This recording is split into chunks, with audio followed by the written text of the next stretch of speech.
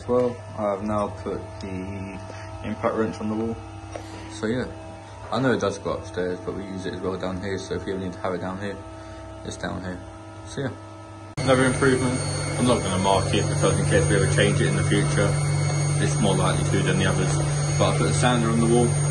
There's two screws, keeps out the way. Uh, another step towards clearing up all this stuff.